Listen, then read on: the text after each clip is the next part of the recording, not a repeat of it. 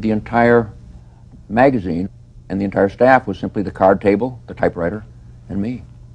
And I finally, when, when my bank account got down in August of 53 to around a little less than $200, I finally went to my parents and asked them if, if they would uh, loan me some money or invest some money in the, Did you in the tell magazine. them for what?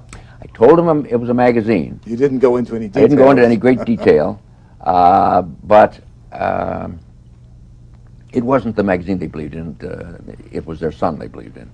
Uh, my father declined because he was the practical one. He was a certified public accountant.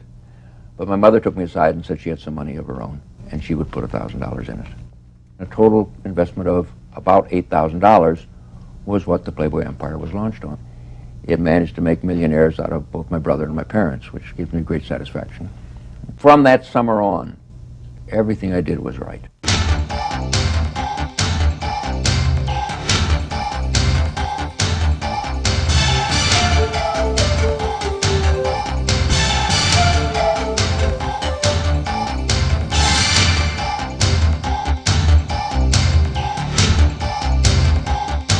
Playboy lit up the dullness of the early 50s the way fireworks light up the dark sky.